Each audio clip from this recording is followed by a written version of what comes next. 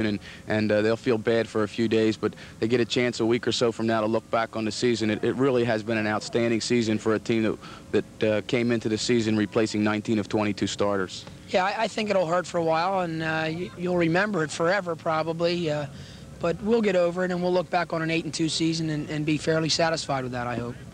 Well, Tony, again, uh, an exciting football game for the fans. Unfortunately, not a win for Ocean City, but, but a great effort nevertheless. I want to thank you for taking the time to join us again. Uh, thanks, buddy. It's always my pleasure. Okay, Tom, back to you now for the rest of the post-game show.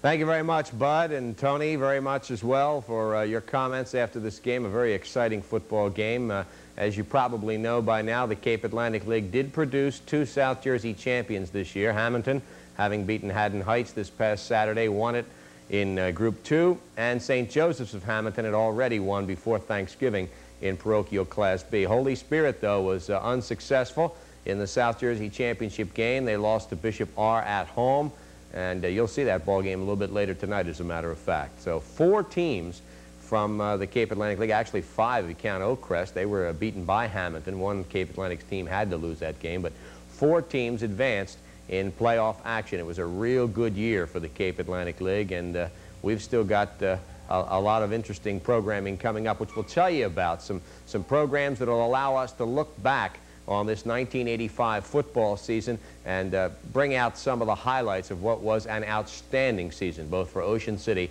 and for Holy Spirit. Uh, we'll tell you a little bit more about that, but right now let's go back once more to Bud Rink. He's standing by with a fine coach. Ty Belford from uh, Willingboro High School, who will be coaching in the South Jersey Championship game for the third consecutive year. Let's go back to Bud. Here with Willingboro coach Ty Belford and coach uh, two years in a row, really great football games between two fine teams, and uh, this year your team the finer one out there.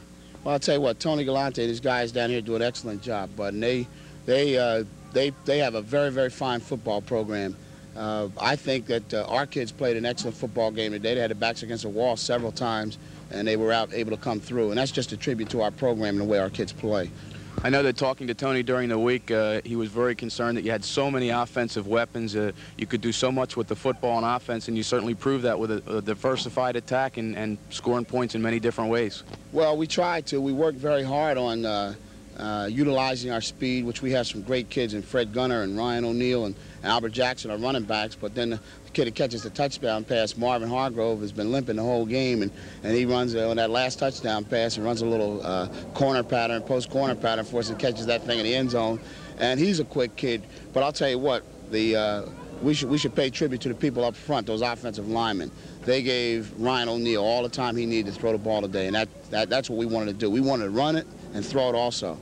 I had to pay tribute to you. That's a heck of a call, fourth and uh, five or six, and uh, you know a lot of bad things can happen. You put the football in the air and you're protecting the lead, but a gutsy call and it really turned out great for you. I'll tell you what, my assistant coach Paul Collins turned to me and he asked me, he said, "Coach, can I throw it?"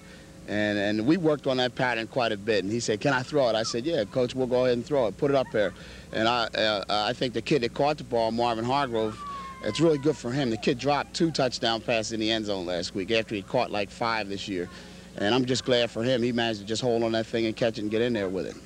Well, Coach, once again, a fine effort from your football team today, and we here in Ocean City certainly want to wish you the best of luck next week against whomever you play. Well, I'd like to say, Bud, the people in Ocean City do a very fine job. The hospitality down here was great, and uh, we just love the people, love to come down here and play, and it's just a great opportunity for both football teams. Well, again, good luck to you. Thank you very much. Ty Belford, Willingboro's coach, and now back to Tom Williams for the rest of the post-game show.